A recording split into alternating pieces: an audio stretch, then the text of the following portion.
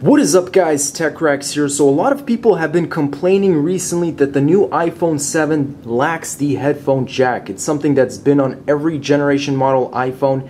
It's not there anymore. You got to use an adapter or you got to wait until the $159 wireless earpods that you might drop and somebody's going to step on. So I found a perfect solution to this problem guys. It's a very simple tutorial. Just follow along, guys. I don't even have to talk here. So now, if it starts doing this, guys, this is perfectly normal. This means you're on your way to getting a brand new headphone jack.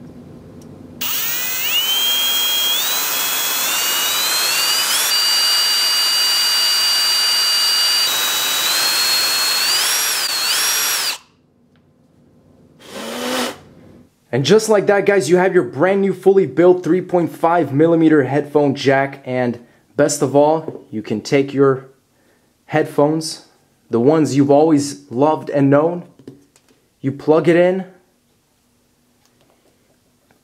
turn on the iPhone, you swipe, you play your favorite song, and you enjoy the music.